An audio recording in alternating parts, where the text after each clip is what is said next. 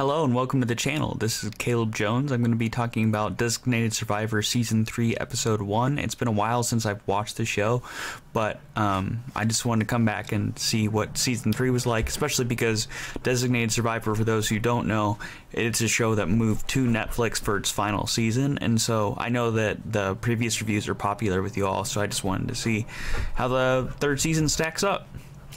So, the episode opens with Mars Harper, the uh, chief of staff, going around the White House, kind of trying to uh, communicate with different people about President Kirkman. And President Kirkman had just has just given the State of the Union, which was very divisive, where he basically called out both sides of the political aisle. So it sets up a situation where. Um, it, it doesn't look like he has a clear path forward. We actually see his vice president step down to run as the Democratic nominee. We're introduced to an infrastructure bill that he wants to pass, um, but it doesn't get enough votes, so it fails. And additionally, the rally he was going to hold in Iowa fails because his opponent has staffers send messages saying that is canceled. Um, when it actually isn't. He has bots basically say that, and so his whole plans for the the rally go away. His whole plans for the bill go away, but we see that he actually ends up going to a rally that already exists for those who think the system is broken. And he basically goes to this abandoned mall and gives this speech. It's a rousing speech, and everybody uh, seems to react uh, in a way that shows that they believe that they're being heard. He even hands off the mic to different people to have them speak about the issues that are pertinent to them. So, as far as the side characters, we see that Hannah gets recruited to the CIA after being dismissed by the FBI um, for her uh, de- or her uh, actions last season.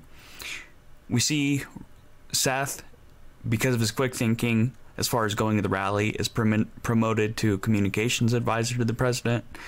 Aaron Shore moves in with his girlfriend, which is about all the development he has, except he is shut down by Mars, who tried to go around, who he tried to go around to talk to the president about relief for Puerto Rico. Uh, Lynn Harper is basically a person with money who was originally going to go with Kirkman's opponent, and she chooses to instead go with Kirkman after hearing his rousing speech.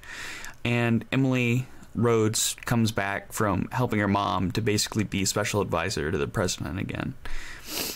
Now, this first episode is pretty rough. Um, I think they realized that they were on Netflix now, so they could do what they want.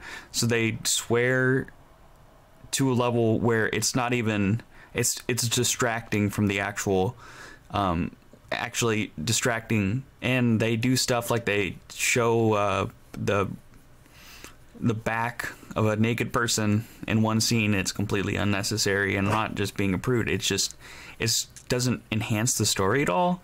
And it was almost cringeworthy whenever they would have the dialogue and it's like they're like oh well we can have this scene. Let's just inject language so we can sound more mature uh, which is definitely something that lower quality shows i think in general do.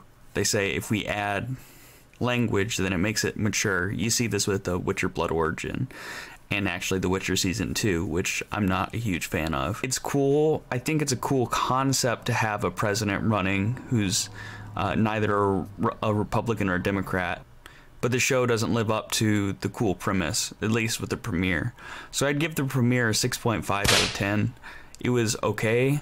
I am interested to see where the the season goes, but at the same time, um, I wasn't amazed by the performances. I wasn't amazed by the writing. I wasn't amazed by the uh, uh, the direction of the show, which is bad, especially considering that this is the intro to the first season on Netflix. So if you enjoyed this Designated Survivor review, remember to like, comment, and subscribe to the channel. I'll see you guys later.